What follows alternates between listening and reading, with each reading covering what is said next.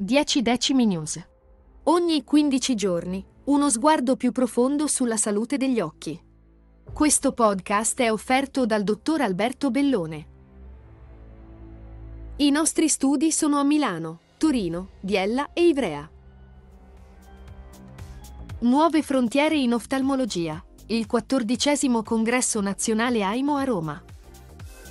Il quattordicesimo congresso nazionale degli oculisti AIMO si è preparato per illuminare Roma con le più recenti innovazioni in oftalmologia. Dal trattamento delle patologie della cornea alla chirurgia oftalmoplastica, il congresso sta esplorando anche sfide come la sindrome dell'occhio secco. Con un focus sulla responsabilità professionale nell'uso di nuove tecnologie, i partecipanti stanno affrontando anche i costi associati ai trapianti oculari. Organizzato in collaborazione con la Società Italiana di Scienze Oftalmologiche, il congresso riunisce oltre 2000 professionisti dell'oculistica provenienti da tutta Italia. Durante le tre giornate a Roma, il programma completo sta garantendo un approfondimento su tutte le tematiche di rilevanza nazionale e internazionale, promettendo un congresso sempre più ricco di conoscenze e opportunità. Innovativa prospettiva nel trattamento del cheratocono, impianto di pelle suina. Un promettente sviluppo nel trattamento del cheratocono emerge con l'utilizzo di protesi derivate dalla pelle di suino. Ricercatori oftalmologi hanno progettato protesi oculari utilizzando proteine estratte dalla pelle di maiale, ripristinando con successo la vista a 14 individui affetti da disabilità visiva, correlata alla malattia dello stroma corneale. Il processo impiega tessuto suino per creare una soluzione di collagene purificato, formando un idrogel che mima la cornea umana. Attraverso incisioni chirurgiche nella cornea, gli oftalmologi hanno ispessito e rimodellato il tessuto per ripristinarne le funzioni. Il cheratocono, malattia non infiammatoria, provoca lo sfiancamento progressivo della cornea, assumendo una forma conica irregolare.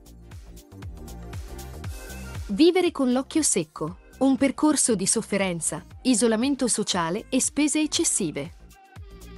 La malattia dell'occhio secco comporta una lunga serie di disagi e sofferenze, spesso sottovalutati e ignorati.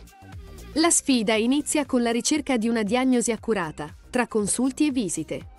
I pazienti sperimentano una peregrinazione tra unguenti e gocce alla ricerca di sollievo, mentre la loro sofferenza è talvolta misconosciuta. Questa condizione, invalidante e sottovalutata, può rendere alcuni pazienti funzionalmente ciechi per alcune ore al giorno a causa della fotofobia. Nel contesto lavorativo, la malattia dell'occhio secco influisce negativamente e anche le relazioni sociali subiscono le limitazioni della malattia, con l'esposizione all'aria condizionata e agli ambienti riscaldati spesso insostenibile.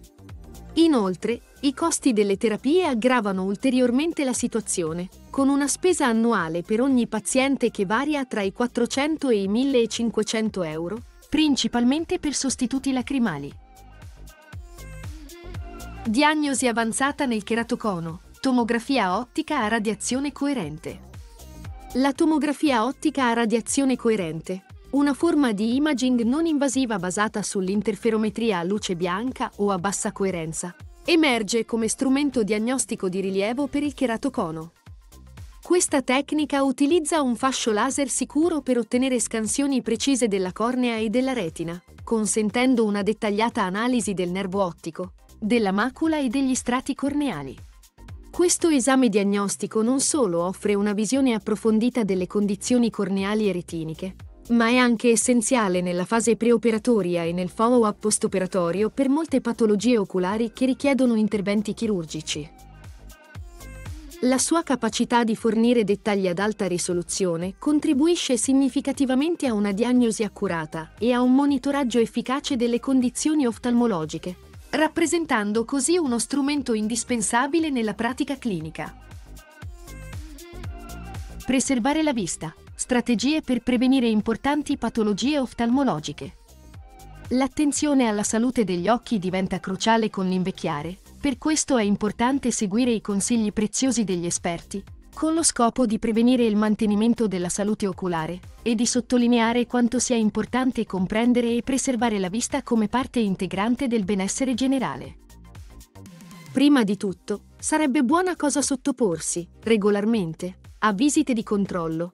Poi sarebbe bene non esagerare con l'utilizzo degli apparecchi tecnologici, ridurre al minimo il fumo e controllare periodicamente il diabete e la pressione oculare. Per finire, è bene utilizzare la protezione solare e seguire una corretta alimentazione. Keratocono. Analisi di una patologia corneale progressiva. Il keratocono è una patologia corneale progressiva che si manifesta tramite un deterioramento graduale dell'acuità visiva, miopia e astigmatismo irregolare. Generalmente, il keratocono si manifesta durante la pubertà, ma più comunemente nelle donne, secondo alcune ricerche. La progressione della malattia è difficilmente prevedibile. In molti casi il keratocono, talvolta associato ad altri problemi oculari o sistemici, si sviluppa spontaneamente. Una vita rinata, la sfida di Mohammed con la noftalmia bilaterale. Mohammed, un bambino senegalese affetto da una rara anoftalmia bilaterale, ha trovato speranza attraverso una catena di solidarietà che ha collegato due luoghi completamente diversi. Tutto ha avuto inizio, infatti, con una richiesta di aiuto da parte del padre del bimbo Omar, organizzazione dedicata alle malattie rare, coinvolgendo l'associazione Kim, l'ospedale Bambino Gesù e Ocularistica Italiana. La richiesta di aiuto da parte del padre di Mohammed a Ilaria Ciancaleoni Bartoli ha coinvolto ospedali, specialisti medici e associazioni. L'intervento tempestivo di tutti quanti ha segnato una svolta, perché ora il bambino è riuscito a ottenere delle protesi oculari. Guida alla protezione degli occhi durante lo sport invernale. Con l'arrivo del freddo è essenziale proteggere gli occhi, durante lo sport, da irritazioni oculari, lacrimazione e secchezza causati dagli sbalzi termici. Il freddo, inoltre, influisce sulla cornea. È importante l'utilizzo di occhiali sportivi da utilizzare come scudo contro l'aria fredda e agenti esterni che potrebbero causare abrasioni corneali e infezioni, ma anche l'utilizzo di occhiali con colorazioni specifiche per differenti condizioni di luce. È anche raccomandata l'attenzione all'allenamento caratterizzato da un massimo comfort visivo, alla dieta, all'idratazione e al riposo. La rivelazione precoce del Parkinson. Scansioni oculari in 3D anticipano i sintomi di 7 anni. Un nuovo studio condotto da ricercatori rivela che le scansioni oculari in 3D possono individuare il morbo di Parkinson fino a 7 anni prima dell'insorgenza dei sintomi tipici. Utilizzando la tomografia a coerenza ottica, l'analisi della retina offre un'immagine tridimensionale dell'occhio, permettendo una diagnosi anticipata. L'indagine, pubblicata su Neurology, coinvolge anche l'intelligenza artificiale consultando un database di immagini oculari e dati clinici di migliaia di pazienti. Le scansioni oculari evidenziano differenze nello spessore dello strato di cellule nella retina tra pazienti con Parkinson e quelli senza, fornendo un importante indicatore per lo sviluppo della malattia. Aggressione all'immunologo Francesco Le Foche, compromessa anche la vista.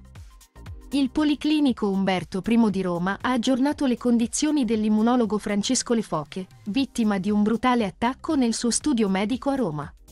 Nonostante le gravi ferite, il dottor Le Foche reagisce, pur avendo subito un intervento chirurgico per la sutura del bulbo oculare, con particolare attenzione alla preservazione della vista. Il dottor Alessandro Lambiase, uno dei medici curanti, ha annunciato che la prognosi retinica sarebbe stata valutata nei prossimi 7-10 giorni.